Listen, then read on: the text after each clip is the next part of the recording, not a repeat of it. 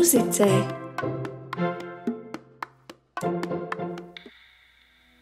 Nu, sveiki, mans vārds ir Reinis Jaunais. Rakstot mūziku, jo man ļoti patīk rakstīt mūziku. Manā kontā ir seši mūzikas albumi. Gal galā visa atslēga ir tāda, ka mēs vienkārši šīs te dotas dažādā secībā mai, maisam kopā.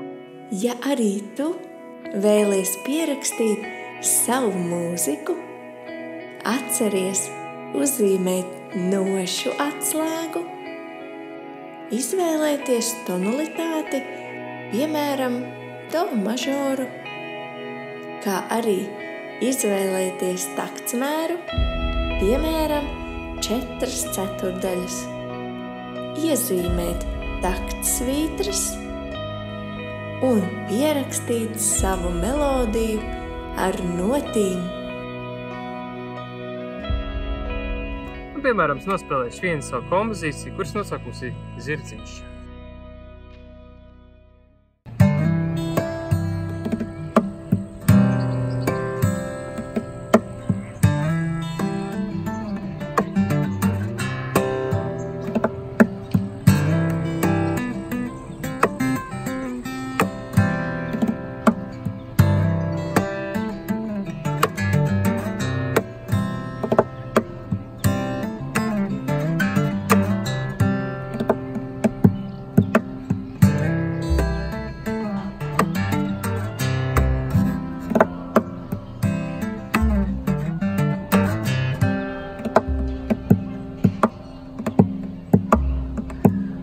Laikam aizmirsu pateikt, savulaik es uh, biju arī bundznieks, un man bija punkra grupa, un tajā laikā, kad es spēlēju bungas punkra grupā, mēs vēl nezinājām, ka instrumenti jānoskaņo pirms spēlēšanas. Bet mēs riktīgi, nu, griezām, cik vien skaļi varam, un, uh, un bliezām tā no visas sirds, un uh, mums pašiem patika, bet es atceros, mums bija viens koncerts, un tur mums palūdz viņu, nu, tā kā saīsināt, tā pamatīgi. Bet, nu, laikam tieši no šīs pankroka grupas, tā kā tās priekšvēstures, pat cik man tāda ir, nu, man patīk, es nezinu, bungot pa ģitāru, un ģitāra brīnišķīgi bunga, šeit ir visdažādākās skaņas. Šādi mēs varam atdarināt basbungas skaņu, tikai to nevajag darīt pārāk stipri, jo mēs negribam ģitāru salauzt. Šī solo bungas skaņa vienkārši knipīts, viņi arī var panākt šādi, un, un arī šādi uzsadot tieši tur, kur pa vidu starp stīgām uzsitot, veidot šādu skaņu. Un, um, jā,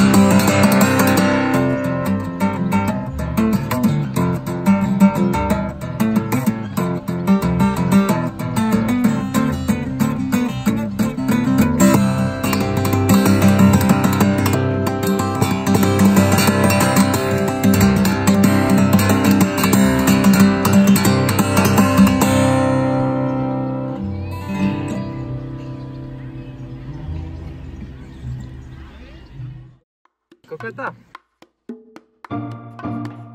Lai izdodas arī tev radīt savu mūziku.